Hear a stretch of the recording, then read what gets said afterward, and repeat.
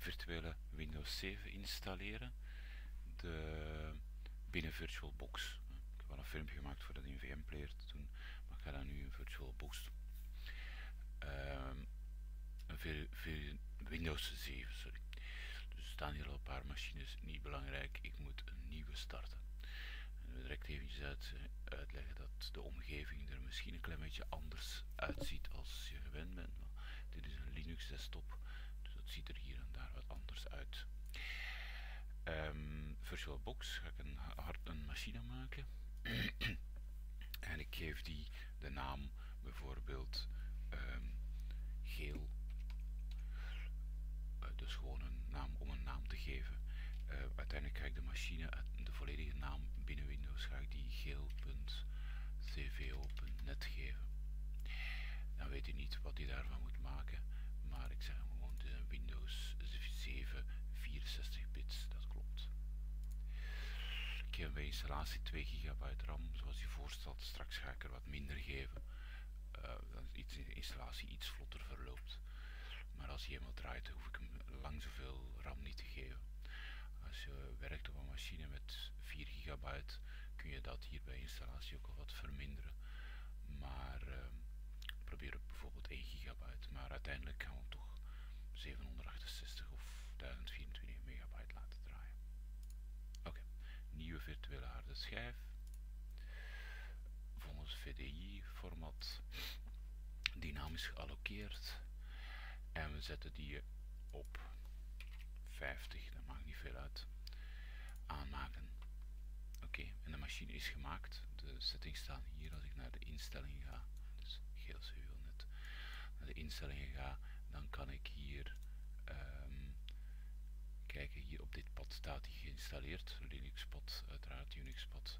Beschrijving, versleuteling, niks gegeven, maar het systeem hier kan ik dus de RAM aanpassen, bijvoorbeeld processor, aantal processoren. Ik kan naar meerdere processoren gaan. Ik heb 8 cores, dus in principe zou ik meerdere cores kunnen geven. Pardon. En de acceleratie laat ik standaard zo staan.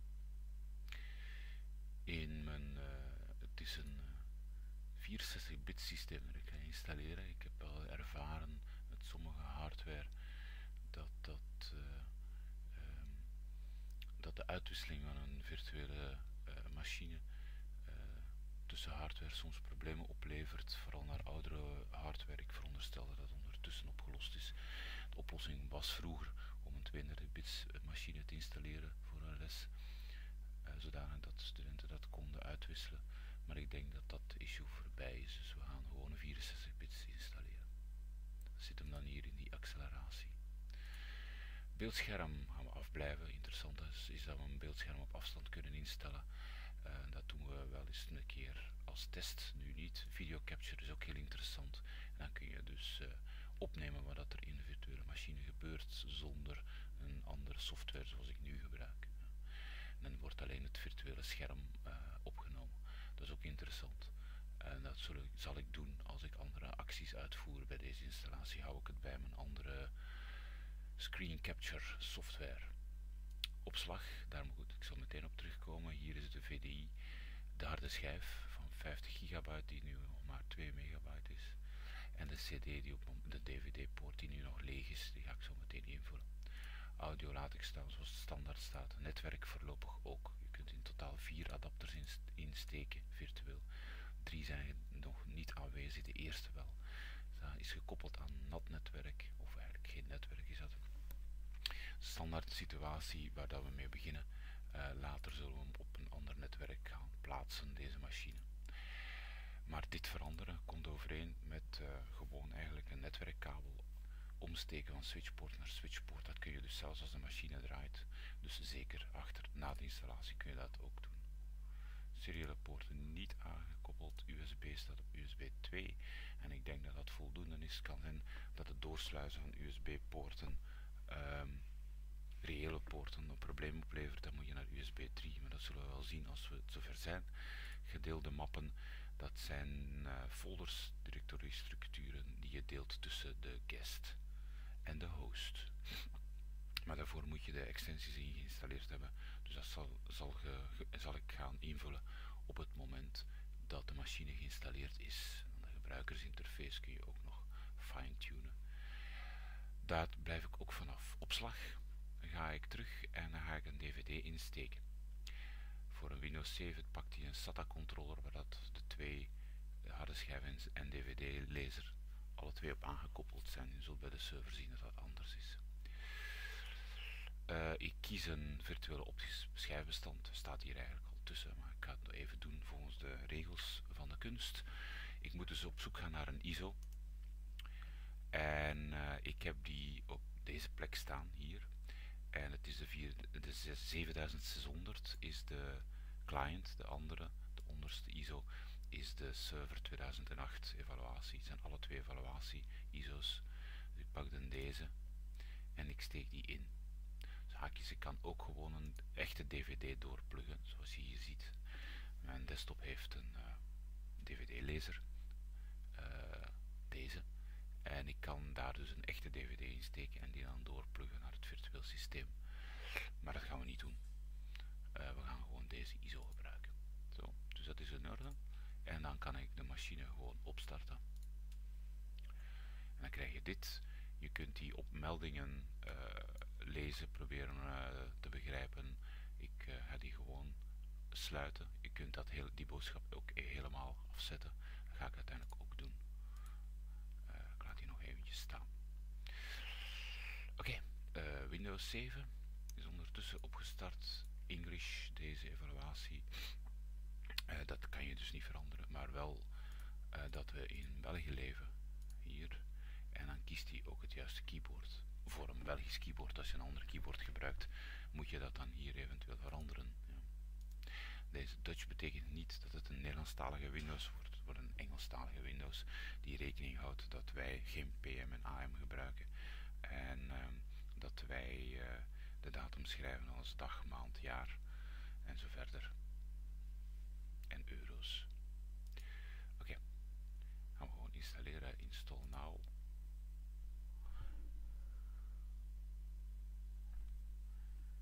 En zie je hier dat die, uh, zag je hier, dat zou je straks beter zien, dat hij aan het lezen is van de DVD, groen lichtje.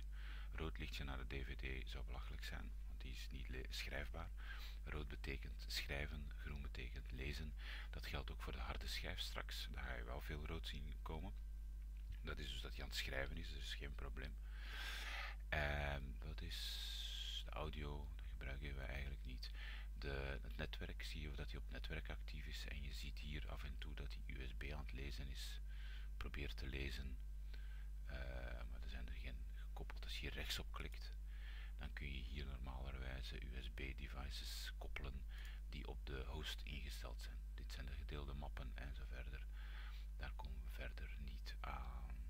Terug hier heb je die, die, die boodschappen, die grijze meldingen daar net boven. Die uh, vind je hier ook terug over de muisintegratie. Ja. Maar ik ga pas in die muisintegratie iets doen als ik de extensies geïnstalleerd heb. Goed, terug naar de installatie. Ik uh, accepteer de license terms en we gaan verder. Stelt voor een upgrade te doen, maar dat is ook belachelijk, want we hebben nog niks om te upgraden. We moeten een nieuw kopie installeren. Dan vraagt hij op welk medium. Er is maar één medium. Ik zou hier kunnen gaan um, extra volumes gaan maken. Ik ga dat nu niet doen, is een aparte oefening later op een andere harde schijf. Dit ga ik gewoon als één grote C-schijf bekijken. En dan begint hij allerlei dingen te kopiëren en uit te pakken. En dat duurt dus ik ga nu de video even pauzeren. Dus de installatieprocedure is bijna voltooid. Komt hij hier bij completing installation, zoals je ziet. En dan gaat hij normalerwijze um, weer uh, op heropstarten. Ik ga dit hier dan uitzetten voor nee, sluiten. Um, maar ik kan nog eventjes wachten. Je zult wel zien wat hij doet als je zelf installeert. Dus hier uh, zie je tussen. Dus uh, gaat de machine herstarten.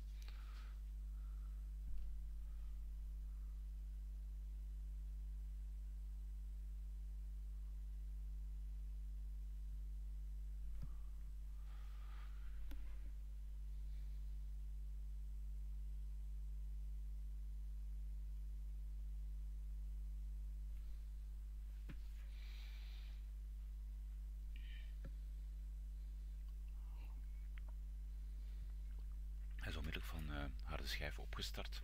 In principe kun je nog uh, pushen dat hij op DVD heropstart, maar dat is niet de bedoeling.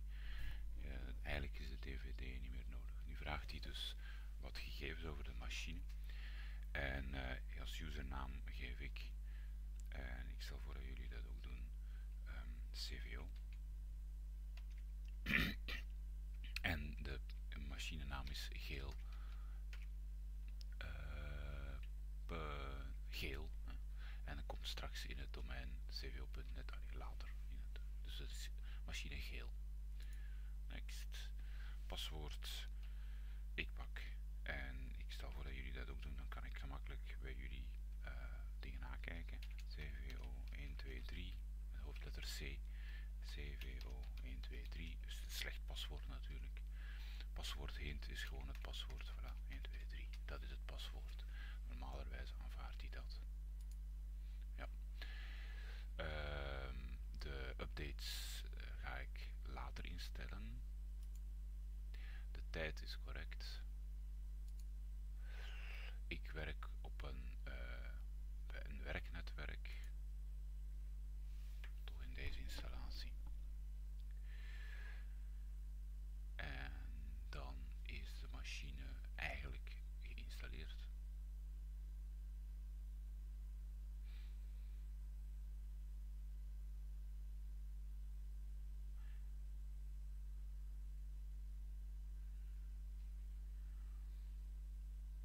En we gaan even wachten totdat hij helemaal boven water komt.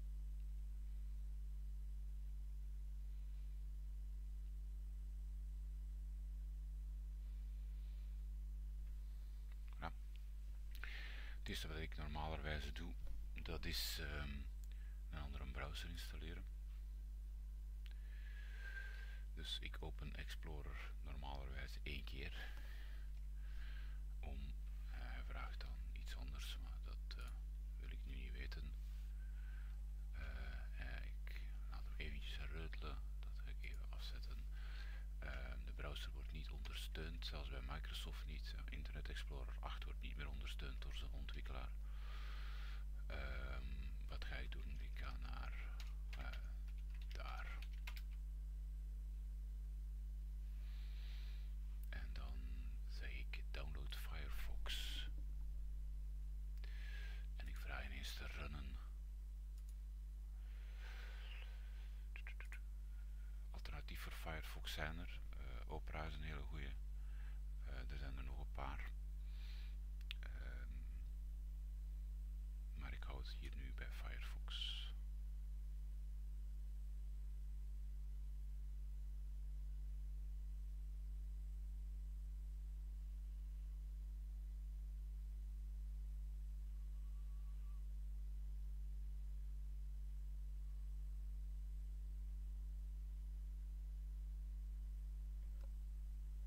Dus we wachten heel rustig af. Ondertussen kunnen we deze sluiten. Meteen kunnen doen. Uh, deze stap overslaan. Ik ga hier mijn eigen user bij Firefox niet in. Het is heel handig met Firefox. Als je op een machine Firefox installeert en je logt in met je Firefox Sync account, dan gaat hij allerlei dingen overnemen. Er is natuurlijk een privacy issue aan, maar het is wel heel handig. Deze stap overslaan en ik heb mijn browser die in het hele scherm te zien was. En dat scherm daar ga ik nu iets van aanpassen. Dus die browser is er. Sluiten. Explorer kan een pint worden dat ik die niet meer zie. En deze ook. Die twee zijn goed genoeg. Dat was het voor de installatie. Dit is een werkbare Windows 7 Enterprise tussen. Ah nee, nog één ding. Um, als ik ga kijken, rechtsklikken computer properties, dan zegt hij dus, uh, 7 Enterprise. Naam is Geel, computername komt later nog full computername. En ik heb nog 10 dagen om te activeren. Maar dat, en, eh, dat doe ik nu in één keer. Daarop klik, activate now. Moet je natuurlijk wel netwerk hebben. Activate online now. En dan krijg je dus de evaluatie